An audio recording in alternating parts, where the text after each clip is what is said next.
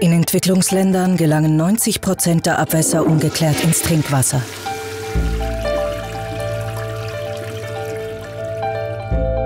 Daran sterben jeden Tag 4000 Kinder.